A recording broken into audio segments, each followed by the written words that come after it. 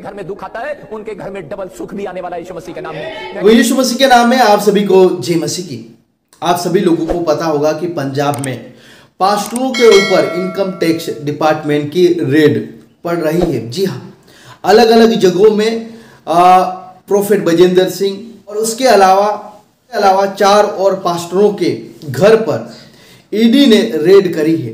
उनके ऊपर धर्मांतरण का आरोप लगाया गया और विदेशी फंडिंग का भी आरोप लगाया गया है, जिसके बाद से ईडी करना शुरू कर दिया है। और ये जो जाँच है, लगभग दो दिन तक चली है। और अभी तक कोई भी सूचना सामने नहीं आई है कि कितना क्या मिला है, लेकिन ये ऊपर ऊपर से ये सूचना आ रही है कि ईडी के द्वारा सूचना दिया गया है कि दो करोड़ रुपए बरामद हुए हैं इस प्रकार से कुछ न्यूज़ वाले बता रहे हैं।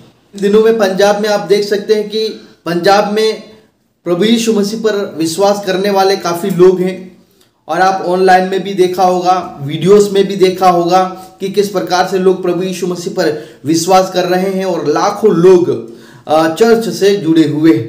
तो दान भी आता होगा और उसके अलावा समाज का काम भी करते हैं, सामाजिक कार्य भी करते हैं और चर्च भवन का निर्माण हो रहा है।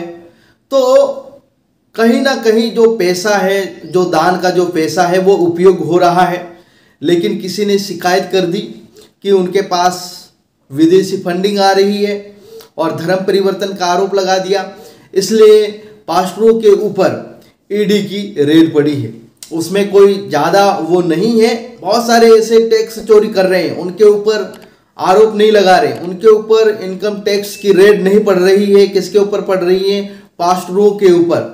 जो प्रभु का काम करते हैं, जो धर्म को मुफ़्त में ठीक करते हैं और एक भलाई का काम करते हैं और समाज में अच्छा काम करते हैं, उनके ऊपर ये रेड पड़ रही है। लेकिन बहुत सारे जो बाबा हैं वो झूठे दावा करते हैं और लोगों को धर्म परिवर्तन करवाते हैं। ये लोग भी क्या करते हैं? लोगों को धर्म परिवर्तन करवाते हैं।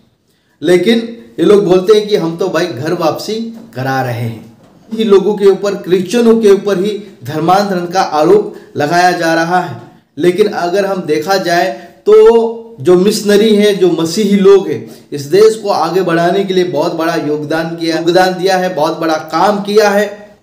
गरीबों को आगे लाए हैं पिछड़ी जाति को आगे लाए हैं ताकि वो आगे बढ़े। पल मसीह के प्रचार के साथ साथ लोगों को शिक्षा भी दिया है, मुफ़्त में इलाज भी दिया है और आज भी वो काम कर रहे हैं। लेकिन कुछ ऐसे पाखंडी लोग हैं जो लोगों को पहला फुसला कर को मसीही लोगों के खिलाफ भड़काने का काम कर रहे हैं खुले आम चुनौती दे रहे हैं। उनके न्यूज़ है, अमर उजाला करके न्यूज़ है, उनसे ये पता चल रहा है कि खाली सूचना मिला है कि कुछ रुपए बरामद हुए हैं।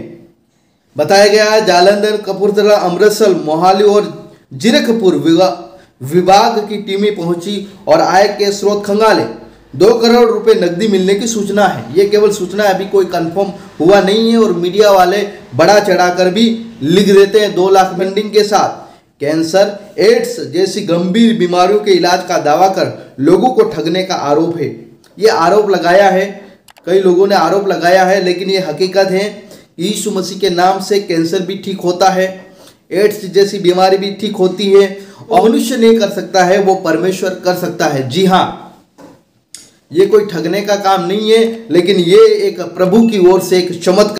ये लोग समझते हैं कि जिस प्रकार से बाबा लोग बताते हैं, उसी प्रकार से ये पास्टर भी करते हैं, लेकिन ऐसा बिल्कुल नहीं है। बाबा और पास्टर में बहुत बड़ा अंतर है। बाबा लोग अपने मंत्र से, अपनी विद्या से ये करते हैं, लेकिन जो पास्टर हैं, वो प्रार्थना करते हैं और उस काम को प्रभु करता है, प्रभु यीशु मसीह करता है। सारे लोगों की ये गवाही भी है कि प्रभु यीशु मसीह ने उनको चंगाई दिया है।